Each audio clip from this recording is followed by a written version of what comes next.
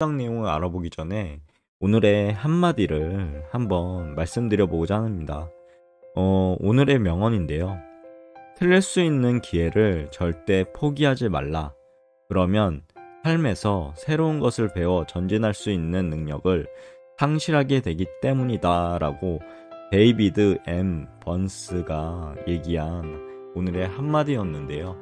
해당 한마디를 듣고 저의 어떤 삶을 돌이켜 보자면, 어, 한때는 이제 틀리는 걸 어떻게 보면은 부끄러워했고, 그리고 틀리는 걸, 어, 포기했다고 해야 되나요? 그래서 해당 기회를 잡을 수 있는 상황을 놓쳤던 적도 있었던 것 같고요.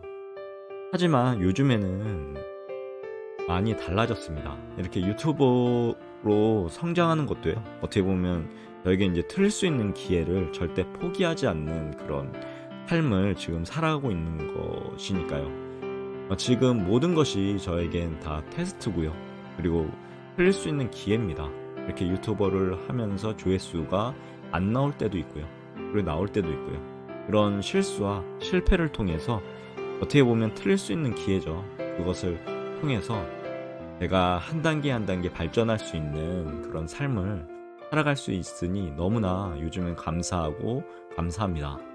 제가 모든 일을 뭐 회사에서나 아니면 개인적으로 진행하는 모든 일들을 진행할 때 한때는 진짜 실패나 틀 수 있는 기회를 포기했던 그런 어, 때도 되게 많았었는데요. 요즘에는 어떤 뭐 삶이나 그리고 회사에서나 무조건 시도를 합니다.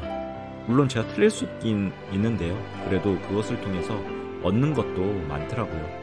그래서 그런 부분 앞으로도 더욱 열심히 저는 틀릴 수 있는 기회를 찾을 거고요. 그 기회를 통해서 앞으로 전진할 수 있는 능력을 어, 능력과 그런 성공할 수 있는 그런 저의 능력을 키워보자, 키워보고자 합니다. 어, 여러분들도 한번 생각해 보시고요. 오늘의 한마디 진짜 마음속에 깊이 어, 넣으시고 머릿속에 넣어두셔서 항상 어, 일을 진행하시는데 진짜 틀릴 수 있는 기회를 절대 포기하지 마시길 기원하겠습니다. 그럼 본격적으로